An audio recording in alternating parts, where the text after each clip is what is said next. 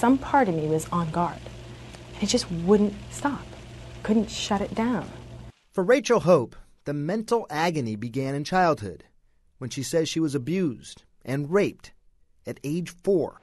As a grown up, the smallest trigger, like a familiar smell even, would bring it all back.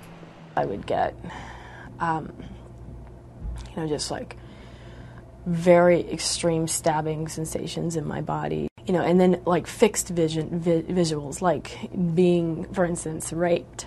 Mental breakdowns, four hospitalizations, and along the way, Rachel tried almost every treatment in the book. Tried EMDR, rapid eye movement therapy, uh, hypnosis, gestalt, yell it out, scream it out. You know, nothing worked. And then she discovered an experiment run by Dr. Michael Mithoefer. He's a psychiatrist in Charleston, South Carolina. This is the place where we do the study. This is where we meet with people, and then this is where we do the MDMA sessions. Intense psychotherapy, including eight hour sessions after taking a capsule of MDMA, of ecstasy. Now, listen closely. On this tape, you can hear Rachel, along with Dr. Mithoefer. I really need to keep guiding me, keep guiding me. It felt as if my whole brain was powered up like a Christmas tree, all at once. Vroom. Sometimes, usually, people did have some very positive, affirming experiences, but a lot of the time it was revisiting the trauma. It was painful, difficult experience, but the MDMA seemed to make it possible for them to do it effectively. Within weeks, Rachel says, about 90% of her symptoms were gone. And in results just published, Dr. Mithoefer says that 14 of 19 patients were dramatically better more than three years later.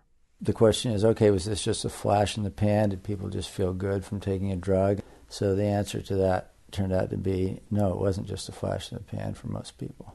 Now, of course, 19 people is still just a tiny study, but it is getting attention. Lori Sutton was the Army's top psychiatrist until she retired in 2010. I've certainly reviewed it, and the the results look promising. It's like with the rest of science. We'll apply the rigor, we'll follow where the data leads, we'll leave our politics at the door. Now, I point out that none of this means that street ecstasy is safe. Apart from being illegal, you don't always know what you're getting. It's often contaminated. Pure MDMA can cause a higher body temperature, it can cause dehydration. There's also cases where people overcompensate and actually die from drinking too much water. But in a controlled setting, which is what we're talking about here, the evidence does seem to suggest that it can be safe. And Mithoefer is halfway through a study offering this treatment to combat veterans, firefighters, and police officers. Dr. Sanjay Gupta, CNN, reporting.